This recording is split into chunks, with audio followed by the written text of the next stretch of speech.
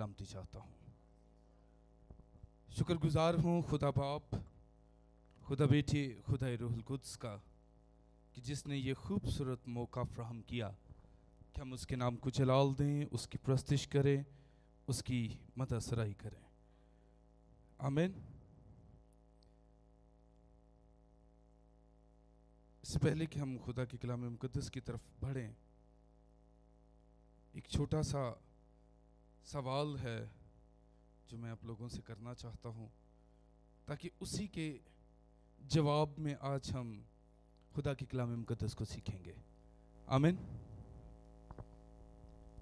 हम सब की ज़िंदगी में खुदा ने एक नया साल बख्शा है, और हम उसके शुक्रगुजार हैं कि हम एक नए साल में दाखिल हुए हैं। मैं कल भी ये बात शेयर कर रहा था। 31 दिसंबर को, हम चर्च में हों या घर में, दुआ कर रहे हों तो बहुत से ऐदो पेमा खुदा के साथ बांधे जाते हैं।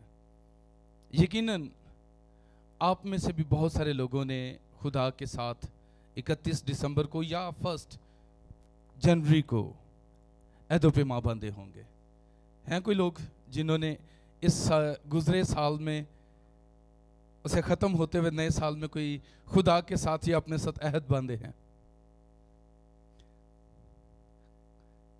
तकरीबन आधे चर्च के लोग हैं जिन्होंने हाथ खड़ा किया कि हमने खुदा के साथ अहदों पे माँ बांधे और मैं ये नहीं पूछूँगा कि क्या क्या अहदों पे माँ थे, लेकिन अहद बांधे गए।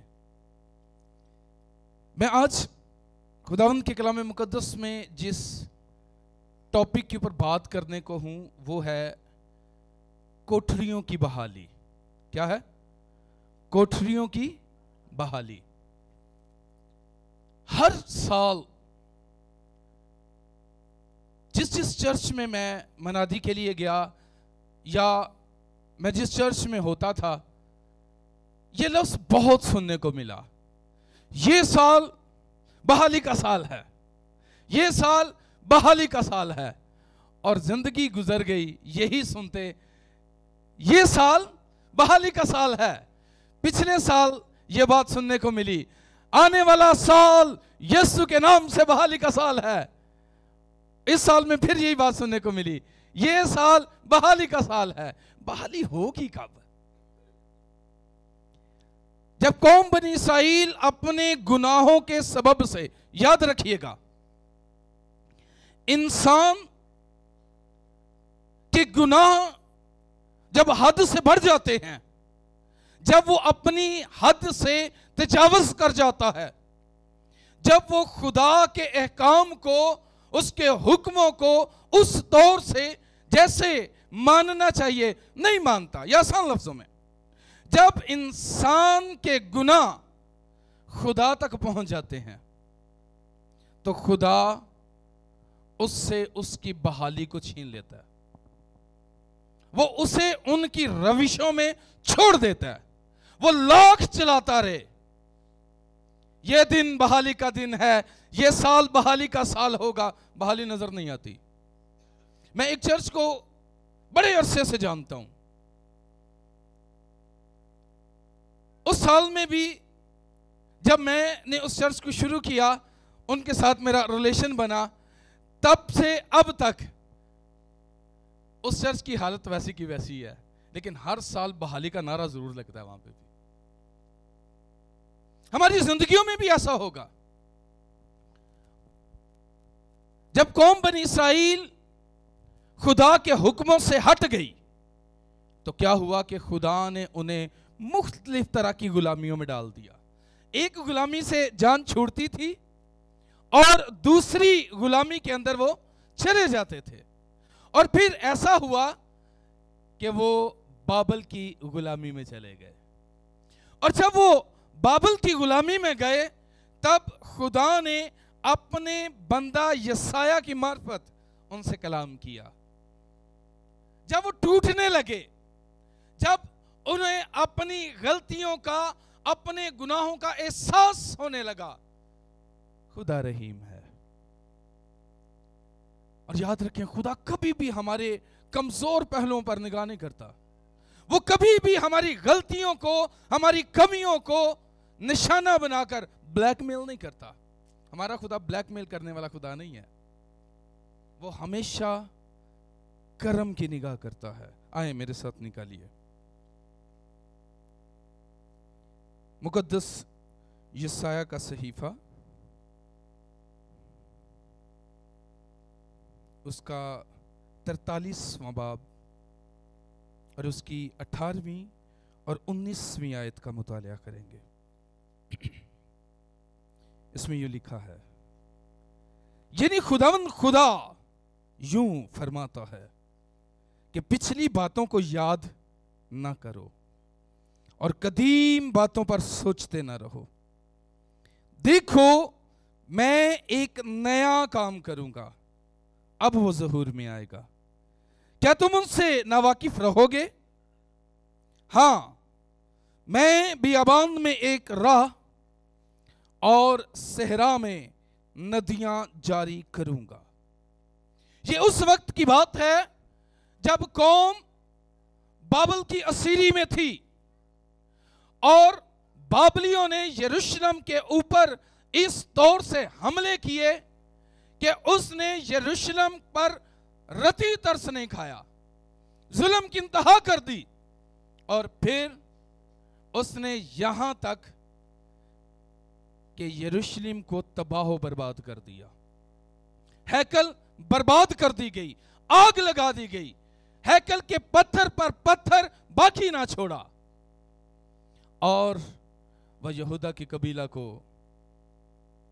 गुलाम बनाकर, असीर बनाकर ले गया। अब जब वो टूटने लगे, जब वो अपने गुनाहों पर पछताने लगे, जब वो हर रोज अपनी उन बातों को, उस वक्त को जो वो यरूशलेम में गुजारते थे, याद करने लगे और खुदा के हजूर फरियाद करने लगे तो खुदा ने उनसे कहा खुदा ने फरमाया, पिछली बातों को याद ना करो कि तुम क्या थे और तुम्हारे साथ क्या हुआ। लेकिन देखो, अब मैं क्या नया काम करूँगा। हम जब खुदा के साथ एदोपिमा करते हैं, जब वादे किए जाते हैं, इस साल में मैं इतने घरों में विज़िट करूँगा। इस साल में मैं इतनी मनादी करूँगा। इस साल में मैं इतनी दफ़ा दुआ किया करूँगा। इस साल में ये हो जाएगा। इस साल में यूँ करूँगा। और हम कर क्यों नहीं पाते? क्योंकि हम कदीम बातों को सोचते रहते हैं। हम पिछली बातों से निकलते ही नहीं हैं। हम गुनाह से तोबा ज़रूर करते हैं। मुझे यहाँ पर एक कहानी याद आ गई, एक स्टोरी थी। कोई शख्स था तो उसके, वो गाड़ी में सफ़र कर रहा था। उसके साथ बैठे हुए शख्स को उससे बड़ी स्मेल आई। उसने उसे कहा कि, यार, तेरे से स्मेल आ रही है। उसने कहा, यार, मेरे सॉक्सों में से जराबों में से स्मेल आती है। वो एक स्टॉप पे रुका, वो गया, नए सॉक्स लाया, उसको ला के दिए, कहते यार, ये सॉक्स पहन लो। सारी गाड़ी का माहौल ख़राब हो रहा है। उसने वो पुराने उतारे, नए पहन लिए। थोड़ी देर के बाद गाड़ी चली, फिर स्मेल आना शुरू हो गई। उसने कहा, यार, तेरे पास फिर स्मेल आ रही है। नए सॉक्स नहीं पहने? कहते जी, पहने हैं। कहते फिर स्मेल क्यों आ रही है? कहते पुराने जेब चेन है हमारी ज़िंदगी के अंदर गुनाहों से तोबा ज़रूर होती है, लेकिन उन गुनाहों से निकलते नहीं। हमारी सोचों के अंदर, याद रखें, गुनाह सबसे पहले हमारी सोच में आता है। और फिर सोच से आगे बढ़ता बढ़ता बढ़ता हम गुना करते हैं। हमारी सोचों से गुना नहीं निकलता। और हम इल्ज़ाम अबलीस पर लगा देते हैं। अबलीस ने करा दिया जी मैं कमज़ोर पै गया था पिछली बातों को सोचते ना रहो। कदीम बातों पर गौर ना करो। मैं एक नया काम करूँगा। और ये सिर्फ़ नए साल का हवाला नहीं है कि नए साल पर यह हवाला पड़ा जाए। मैं एक नया काम करूँगा, लेकिन उस नए काम को करने के लिए, उसके जहूर में आने के लिए वो एक सवाल करता है। रबुल अफवाज खुदावन खुदा जब फरमा रहा था तो वो कौम से सवाल करता है, मैं तुम्हारे लिए एक नया काम करना चाहता हूँ, एक नया काम जहूर में आएगा। क्या तुम उनसे, उससे ना वाकिफ रहोगे? इसके आगे सवालिया निशान है। क्या कर रहा है वो? एक सवाल कर रहा है कि जो काम मैं करने को हूँ, क्या तुम उससे नावाकिफ रहोगे? इस साल में खुदा बहाली करना चाहता है। क्या आप उससे नावाकिफ रहेंगे कि होगी कैसे? आपने वादे किए? बहुत से वादे करते हैं। वो वादे पूरे कैसे होंगे? ये पूछा। ये होगा कैसे? खुदावंद, मैं ये करूँगा ये करूँगा, यहाँ जाऊँगा जाऊँगा कैसे? ये चीज़ें जहूर में आएँगी कैसे? खुदा कहता है, क्या तुम उससे नावाकिफ रहोगे? और यही सवाल आज मैं आपसे कर रहा हूँ। क्या आप खुदा के कामों से नावाकिफ रहना चाहते हैं? तो फिर कैसे हमें, हम उससे वाकफियत हासिल कर सकते हैं? कैसे पता चलेगा कि ये क्या होगा? वो कब करेगा? किस तरह से करेगा? देखो, मैं एक नया काम करूँगा। ओ, बड़ा काम। बियाबान में, आप में से किसी ने सहरा देखा? किस तरह का होता है? रास्ते नहीं पता चलते। बंदा भूल जाता है ना कि अब यहाँ पर रास्ता था, हवा चली, गायब। जो यहाँ बना है, वो थोड़ी देर के बाद वहाँ बना होता है। और बंदा भूल जाता है, मैंने जाना कहाँ था। वो कहता है उसमें मैं तुम्हारे लिए राह तैयार कर दूँगा। तुम भूलोगे नहीं। तुम्हारी ज़िंदगी बियाबान बन चुकी है, वीरान हो चुकी है। मैं उसे बहाल कर दूँगा। लेकिन करेगा कैसे? और ये बहाली जब वो करेगा उसके लिए हमें क्या करना होगा? सबसे पहले याद रखिएगा, बहाली के लिए सबसे पहला कदम अमली कदम है। क्या है? खुदा वादे नहीं चाहता, खुदा अहद नहीं चाहता, क्योंकि खुदा के सिवा कोई वादों पर पूरा नहीं उतर सकता। और कलाम मुकदस में लिखा है, खुदा इंसान नहीं के झूठ बोले और अपने वादों से मुकर जाए, लेकिन इंसान वादे करता है और भूल जाता है, मुकर जाता है। इसलिए कि वो अमली काम नहीं करता। हमारा खुदा अमली काम करता और अमली काम को पसंद करता है। जब आप अमली काम करना शुरू कर देंगे। यानी उस बात को जिसका अहद बांधा गया, जिस काम को आप करना चाहते हैं, जब आप उस पर अमल करना शुरू करेंगे, आपकी ज़िंदगी के अंदर बहाली आना शुरू हो जाएगी। मैं कल से नौकरी पर जाऊँगा। मेरे पास कुछ भी नहीं है, मैं कल से दिहाड़ियाँ करने के लिए जाऊँगा। और बंदा सुता रहे यार, तू दिहाड़ी तो जाना से? हाँ मैं वादा किया जी इस साल मैं दिहाड़ियाँ करनियाँ कुछ भी ना ना होया, मैं दिहाड़ियाँ करा रेड़ी ला लांगा। उठ रेड़ी ला ला। यार मैं वादा है, मैं लावांगा। रेडी कर आ जाएगी पैसे आ जाएँगे, क्या करना पड़ेगा? उसके लिए उसे अमली काम करना है, और जब वो अमली काम करना शुरू करेगा, अब इस साल में अगर आप चाहते हैं चर्च बहाल हो जाए अगर आप चाहते हैं आप बहाल हो जाएँ, अगर आप चाहते हैं आपकी ज़िंदगी के अंदर तब्दीली आना शुरू हो तो उसके लिए आपको अमली काम करना है। और वो अमली काम ये है कि इस साल में कोठरियों को बहाल करना है। बेहद ज़रूरी है। आज अगर कलीसियाएँ पस्ती का शिकार हैं, अगर कौम पस्ती का शिकार है तो उसका सबब सिर्फ़ और सिर्फ़ मेरी नज़र में यह है कि कोठरियाँ वीरान पड़ी हैं। कोठरियाँ बर्बाद हो चुकी हैं। और कलाम मुकदस में से आज हम देखेंगे कि जब कोठरियाँ बर्बाद हुई, जब कोठरियों का तकदस पामाल हुआ, कौम गिरती चली गई। पस्ती पस्ती नकामी नकामी और नकाम होती चली गई। आए, देखते हैं कि कब कोठरी बर्बाद हुई और कोठरी के बर्बाद होने से कौम ने क्या नुकसान उठाया और उसमें हम देखेंगे कि हम क्या नुकसान उठा रहे हैं और हमारी कोठरी की हालत क्या है। जी, मेरे साथ निकालिएगा। दूसरा सैमुअल, उसका तेरहवा बाप और उसकी दसवीं आयत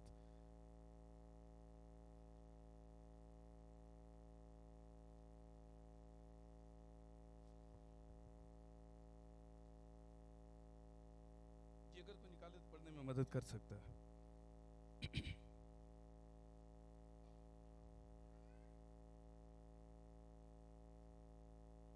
दसवीं आयत से।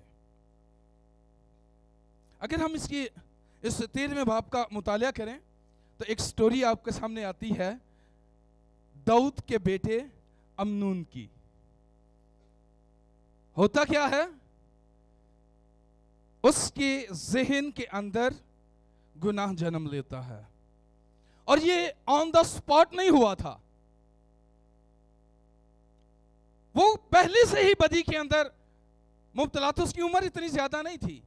कम उम्री में ही वो गुनाह के अंदर धनस चुका था। उसके सोचें बदी की सोचे थी। उसकी रवशों के अंदर गुनाह था। और वो गुनाह इस कदर बढ़ा कि हम इस स्टोरी के अंदर देखते हैं कि वो दाऊद की बेटी के ऊपर आशिक हो जाता है।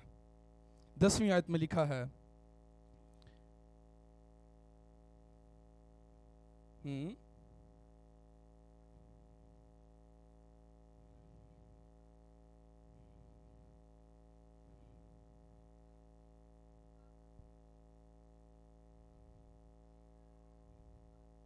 जी आगे भी पढ़िएगा।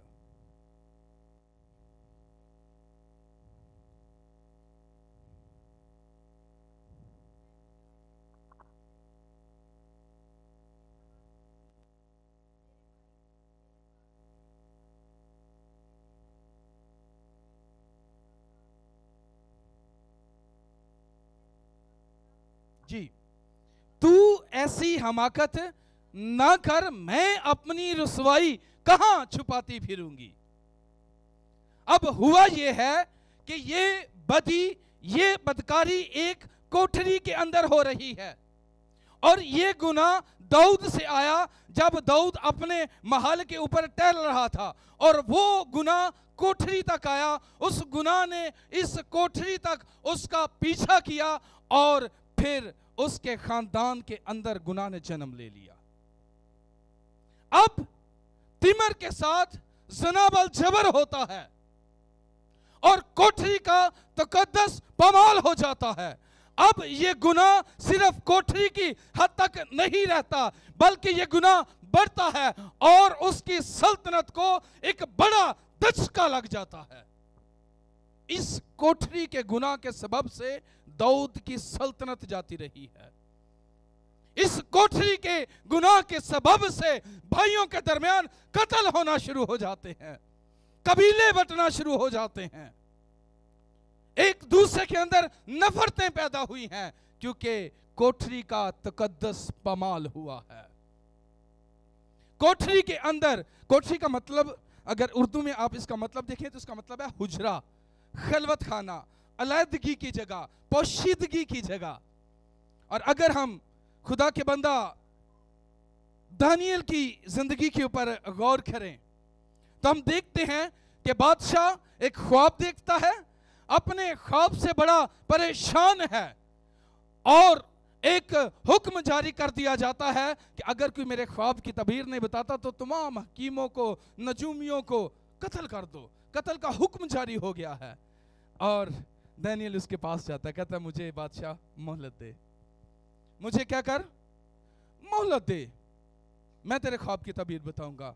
और वो अपने रफीकों के पास गया, जिन्हें हम सदक, मीसक और अब नजू के नाम से जानते हैं।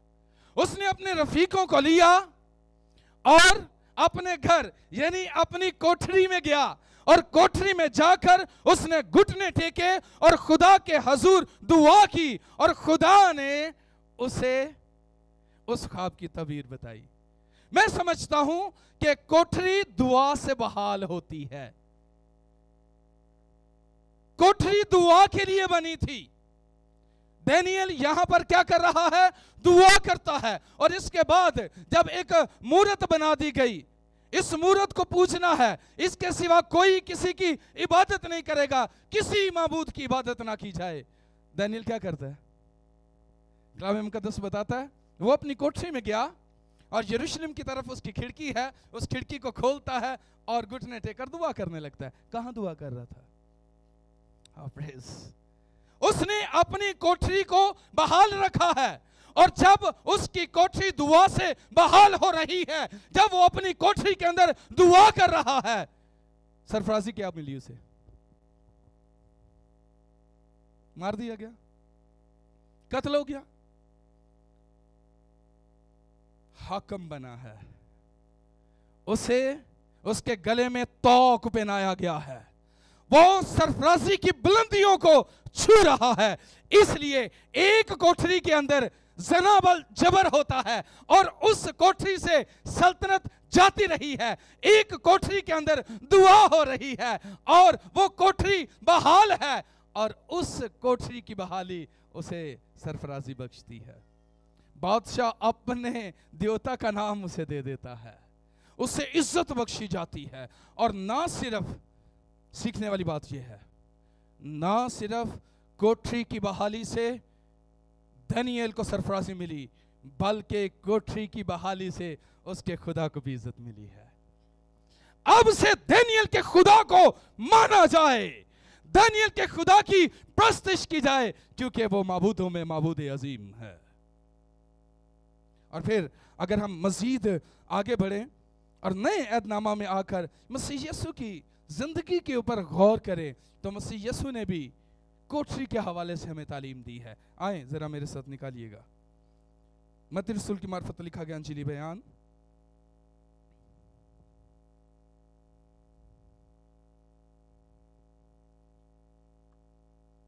उसका छठा बाप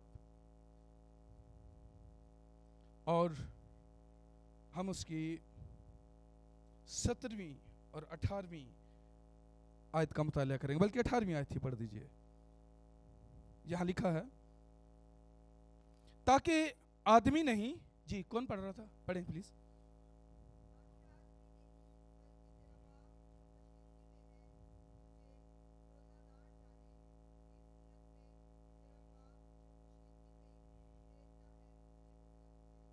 तेरा बाप जो तुझे पोशीदगी में देखता है, तुझे क्या करेगा? बदला देगा। ये बदला से कहाँ पर मिल रहा है? इसी बाप के छठी आयत को पढ़िएगा। जी, क्या करे? जब तू क्या करे? तो मैंने क्या बताया? कोठी किसके लिए बनी है? कोठी कैसे बहाल होती है? दुआ क्या है? कितने लोग इसको ये समझते हैं, दुआ, खुदा से बातें करना? डरते क्यों? वो वंजी गल है दुआ क्या है? लेकिन मैं जिस चीज़ को आपको सिखा रहा हूँ, उसमें रहकर इसका जवाब ये नहीं है। दुआ एक अम्ल है। दुआ क्या है जी? एक अम्ल है। अमली काम कर रहे हैं ना? कि मैं खुदा से, मैं आपसे क्या कर रहा हूँ? तो एक काम कर रहा हूँ। अगर मैं चुप करके खिलौता रहा तो कलाम तो समझ आ जाएगी। कलाम सुन लोगे? तो मैं क्या कर रहा हूँ? काम कर रहा हूँ। एक्ट कर रहा हूँ। दुआ एक एक्ट है। एक अम्ल है उस रिश्ते का जो मेरा और खुदा का है। मैं उस रिश्ते की बहाली के लिए खुदा से दुआ करता हूँ।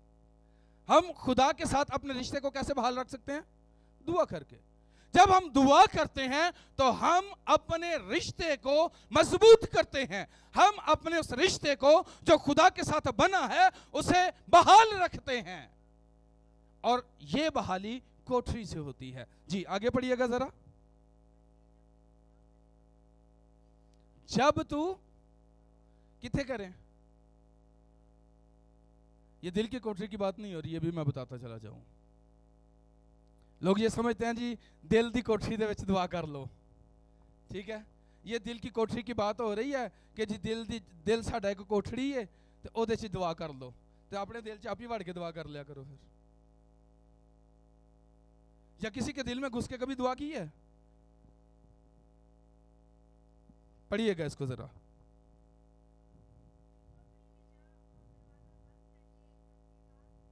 और हम, मैं किसी को नहीं ये बात कह रहा। जब हम इसको इस तरह से सीखते हैं ना कि ये दिल की कोठरी है तो असी तो पहले दिल बंद किया है कई सालों से यीशु खड़ा, ठक ठक ठक, मैं तेरे दिल के दरवाजे पर खड़ा खटखटाता हूँ। उन्हें कहा, मैं भी सुनिया ते दसी हमने तो पहले ही दिल की कोठी का दरवाज़ा बंद कर दिया है। या अंदर से कुंडी लगी है या बाहर से? बाहरों लाओ तो फिर नाल वड्डा सारा जंदरा भी। कहता है, जब तू अपनी कोठरी में जाए, जा और दरवाज़ा बंद करके अपने बाप से। क्या कर? बेसिकली कोठरी का मतलब ही पोशीदगी है। कोठरी का मतलब खलवत खाना है अलहदगी में। यानी तेरे घर के अंदर ऐसी पुरसकून जगह तेरे घर के अंदर हुजरा, इसे हुजरा भी कहा जाता है। अगर यहूदी तारीख को देखा जाए तो हैकल के अंदर उन्होंने हुजरे बनाए हुए थे। और वो हुजरा सिर्फ़ इतना सा होता था आज के दौर में, चले, उस दौर की आज के दौर का मैं आपको हुजरा बताता हूँ कि हुजरा क्या होता है। कितने लोगों का मस्जिद में जाने का कभी इतफाक हुआ है? वे क्या थे हुजरा किथे गलत। आगे जी। हुजरा वो जगह होती है जहाँ पर अमाम खड़ा होता है।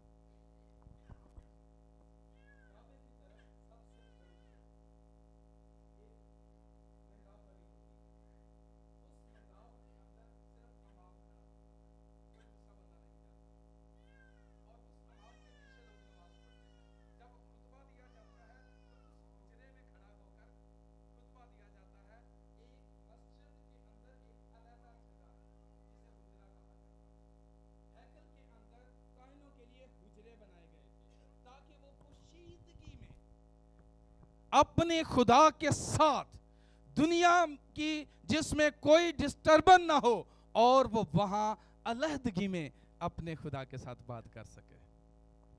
दुआएँ घरों में होती है, मेरे घर में भी होती है। और अक्सर टीवी के सामने होती है। चाहे उसके ऊपर आइजिक लगा हो या कोई भी गीत लगा हो वो थले बह के कर लेती है। अलहदगी में। कोठरी बहाली नहीं है। हुजरे खाली हैं।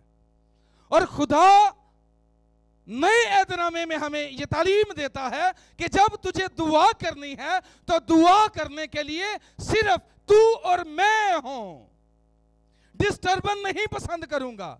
जब मैं हूँ और तू है और कोई नहीं है। अलहदगी के अंदर पोशीदगी के अंदर खलवत खाने में, एक पुरसकून मकाम के अंदर, जो तेरे घर का ऐसा हिस्सा हो। फिर कहना, नाल कुंडी भी लाला है जी पढ़िएगा जरा, क्या कहता है?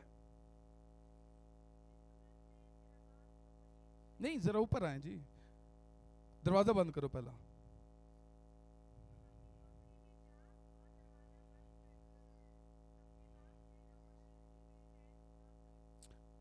क्या कर? पहले किधर जा? फिर कोठरी में जाके क्या कर? बड़े थके हारे आओ ड्यूटी तो।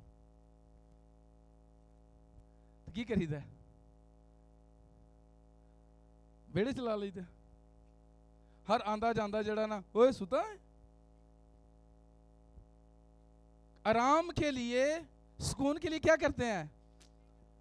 जिथे बच्चों का शोर ना जाए और फिर कुंडी भी ला लीजिए। कोई मेरे कमरे से ना आए, पुरसकून नींद चाहता हूँ, थोड़ी देर आराम करना चाहता हूँ, खुदा पुरसकून बातें करना चाहता है। वो चाहता है जब तू दुआ कर रहा हो, कोई तुझे डिस्टर्ब करने वाला ना हो, कोई तंग करने वाला ना हो, और इधर तो देखने में बात ही कुछ और आती है।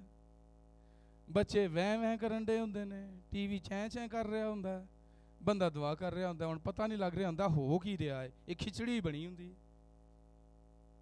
खुदा चाहता है कोठरी में जा पोशीदगी में और फिर पोशीदगी में होता क्या है जी आगे जरा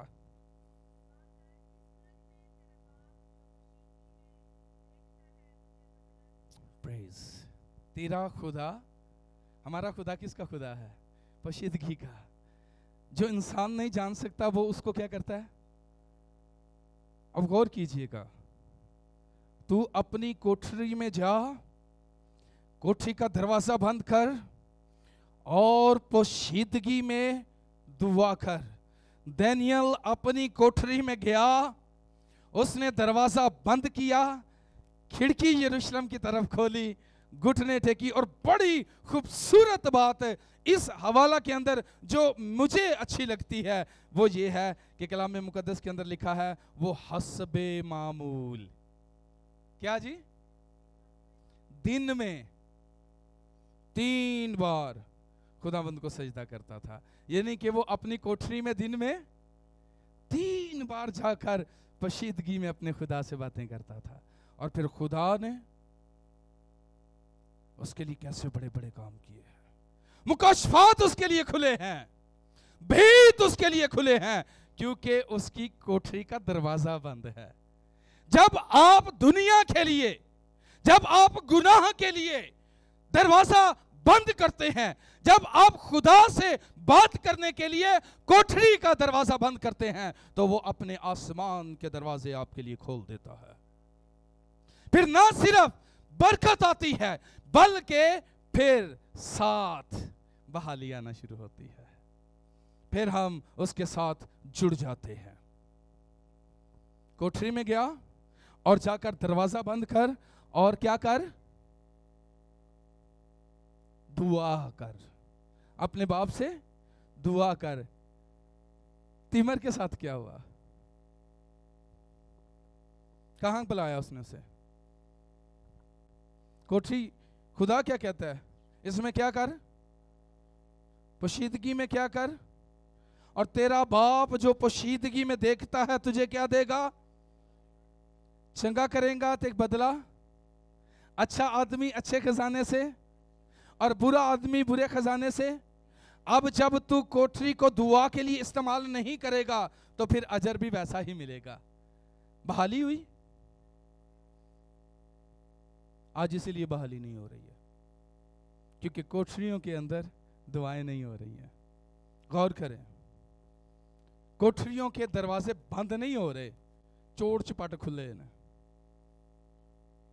आकाश खुले रहें लेकिन खुदा के लिए जना बल जबर के लिए नहीं, बदी के लिए नहीं। और फिर लिखा है, तेरा बाप जो पोशीदगी में देखता है तुझे क्या करेगा? बदला देगा। और फिर खुदा बदला देगा। आप बहाल होना शुरू होंगे। चर्च बहाल होना शुरू होगा। ख़ानदान बहाल होना शुरू होंगे। मैं एक खादम को जानता हूँ। उसके साथ जब बातचीत हुई, फॉरनर थे। उसने कहा, मैं पाकिस्तान में काम करता था। कुछ अर्सा मैंने पाकिस्तान के अंदर काम किया और मुझे जिन लोगों के साथ मैं काम कर रहा था, मैंने बहुत पैसा दिया। बहुत सारे पैसे दिए, लेकिन उनका कोई भी मुझे फ़ायदा नहीं हुआ। कोई काम करता मुझे नज़र ना आया, सिर्फ़ पैसा ज़ाया हुआ और मैंने कहा कि पाकिस्तान के लोग खाने वाले लोग हैं। और मैंने पैसा भेजना, काम करना बंद कर दिया। और 20 साल तक वो पाकिस्तान के नक्शे के ऊपर हाथ रख कर दुआ करता रहा। वो कहता, मैं अपनी कोठरी में जाता अपने हुजरे में जाकर पाकिस्तान के नक्शे के ऊपर हाथ रख कर दुआ करता रहा।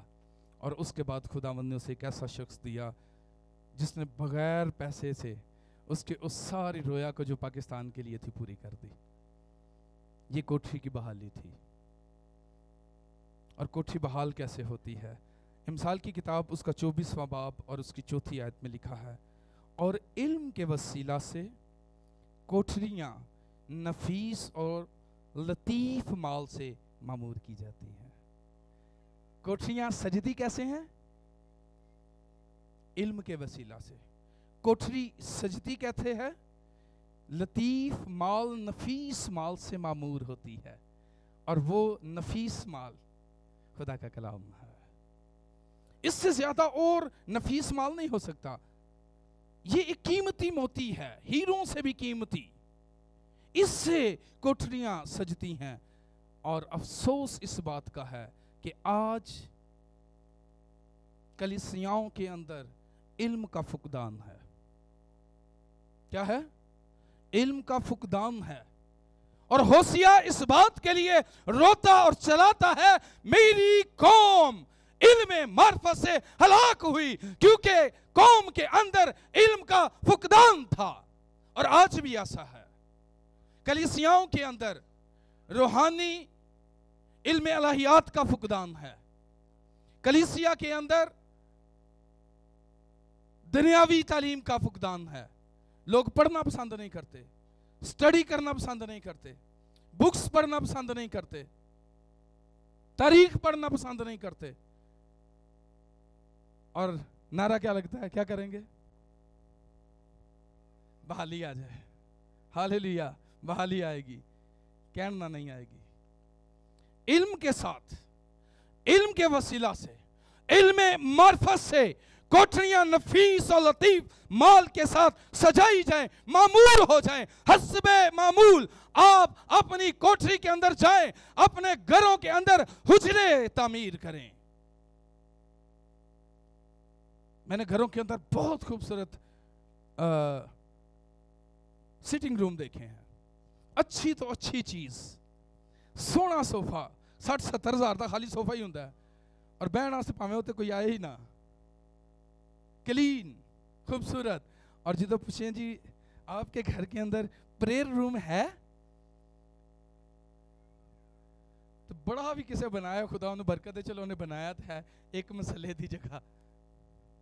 और वो भी विषय ही होंगे अगे दो तीन मोमबत्तियाँ। बुझ गई तो नवियाँ ला दो। माओ बलदियाँ रहन आग ना बुझने पाए। मेरे अजीजो, खुदा चाहता है, कोठरियों को बहाल कर ले। अपने घर की हुजरों को बहाल करें। गौर करें, क्या कोठरी दुआ के लिए इस्तेमाल हो रही है? कोठरियाँ तो हैं खलवत खाने तो हैं सोना जाहिदा है ना, कि कोई डिस्टर्ब ना करे, कुंडी तो लाई दिए तो क्या हम पोशीदगी में अपने खुदा से दुआ नहीं कर सकते? क्या कोठरियाँ खुदा के जलाल के लिए इस्तेमाल नहीं हो सकती? यीशु मसीह ने फरमाया, खुद उसने इस बात का हुक्म दिया है, तू अपनी कोठरी में जा। अगर तू मुझसे बात करना चाहता है, अगर तू बहाल होना चाहता है, अगर तू बरकत को पाना चाहता है, अगर तू चाहता है कि तेरी ज़िंदगी के अंदर खुदा का जलाल ज़ाहिर हो तो फिर जा। कहा? अपनी कोठरी में जा और जाकर उस कोठरी को जिसके अंदर गुनाह हुआ है, वो कोठरी जो गुनाह के सबब से बर्बाद हो चुकी है, उसे बहाल कर। मुझसे बात कर। मैं तेरी सुनूँगा। मैं पोशीदगी का खुदा हूँ। मैं तेरे दिल की बातों को जानता हूँ। ओ मुकदस दाऊद कहता है, जब मैं अपनी माँ के पेट में बेतरतीब मादा था, तब से तू मुझे जानता है। वो अभी से नहीं, वो आपकी तखलीक से पहले आपको जानता है। और जब आपकी जान पहचान हो जाती है, जब रिलेशन मज़बूत हो जाते हैं, जब ताल्लुक बहाल हो जाते हैं, फिर वो जानता नहीं सिर्फ़ पहचानता भी है। मैंने तेरी सूरत क्या किया कुछ लोग लकीरों पर बड़ा यकीन रखते हैं। ये बे नहीं सीधी बनन रही हम बै बै होएगा, बे नहीं बनी। ये लकीर ज़िंदगी की कम हो गई है। एक बंदे ने मेरा हाथ देखा कहना जी तुम हादसे की मौत मरना है। मैं क्या अच्छा कैसे? कहता, आप ड्यूटी क्या करते हैं? मैं क्या जी, मैं आर्मी में हूँ। कहना बस, फिर तो पक्की गल हो गई है जी। उसने आपकी सूरत अपनी हथेली पर खोद रखी है। लकीरें नहीं मिट रही। इन लकीरों के अंदर आपकी सूरत है। और फिर जब जान पहचान होती है तो कहता है, ए, फलाने की सूरत है। और फिर वो देख भी रहा ये करण किड है। प्रेज आए। अपने दिल के अंदर एक अहद बाँध ले। हम चाहते हैं ये साल मेरे लिए और कलिसिया के लिए बहाली का साल हो। कलिसिया तरक्की करे। तो फिर दुआ, इल्म, रफाकत ताल्लुक ज़रूरी है और वो सिर्फ़ और सिर्फ़ कोठरी की बहाली से होगा। मैं आपको ये नहीं कहना चाहता कि आपके घरों में कोठरियाँ बर्बाद हैं। मैं आपको खुदा के कलाम में ये सिखाना चाहता हूँ, कोठरियों को बहाल कर लें। अगर आज तक कोठरी बनी ही नहीं तो बनाएँ। आप बनाकर तो देखें, आप कोठरी बनाएँ, खुदावंद आपको कोठी देगा। हम उसके लिए कोठरी को बहाल करेंगे तो फिर वो कोठियाँ का मालिक बना देगा। सरफराजी आना शुरू हो जाएगी। और कलाम के अंदर किस कदर सरफराजी धनियल ने पाई है? खुदा ने किस कदर उसे बहाल किया? क्योंकि वो तीन टाइम पोशीदगी में अपने खुदा के पास जाता है और उसने कोठरी को बहाल रखा है। अपनी आँखों को बंद करें। हर शख्स अपनी आँख को बंद करे। दुआ नहीं करेंगे। सिर्फ़ अपनी आँखों को बंद करें। कुंडी ला लो। तो मेरी आवाज़ आन दे जे। कानों के कवाड़ खुले रखें। और गौर करना शुरू करें। देखें, कोठरी के अंदर क्या हो रहा है। वो आपको दिखाएगा। पिछले साल में कोठरी में क्या हुआ? उससे पिछले साल कोठरी में क्या हुआ? कल कोठरी में क्या हुआ है? आज कोठरी में क्या हुआ है? कोठरी में क्या हो रहा है? वो आपको दिखा रहा है। देखिए, दुआ ना करें। सिर्फ़ अपनी कोठरी पर गौर करना शुरू करें। खूबसूरत वक्त। और उससे कहें, अगर आपको अंदाज़ा हो चुका है, कोठरी के अंदर सांप मौजूद हैं। और मुसलसल मुझे डस रहे हैं। गुनाह के ये रियाकार सांप, जिन्होंने बागे अदन के अंदर हवा को डसा, आज मुझे भी मेरी ही कोठरी के अंदर डस रहे हैं, जो मुझे बाहर नहीं निकलने दे रहे, कि मैं अमली काम कर सकूँ। खुदाबंद खुदा अजीम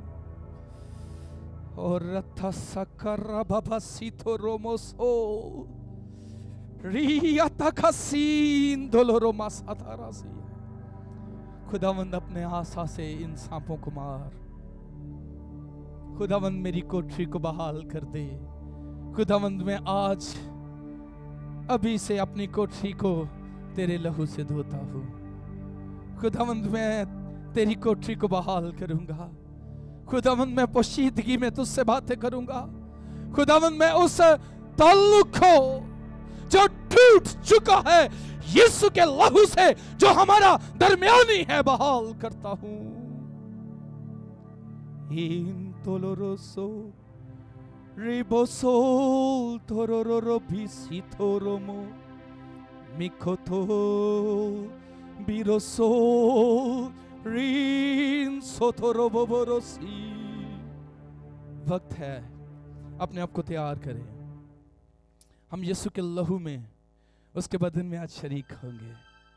और नई पदाइश के साथ कोठी को बहाल करेंगे। कोठी को बहाल करेंगे। खुदावंद तेरा शुक्र हो। खुदावंद तेरी हमद हो। खुदावंद अपने लोगों को बरकत दे। खुदावंद बहाली के इस अमल के लिए हमें तैयार कर। खुदावंद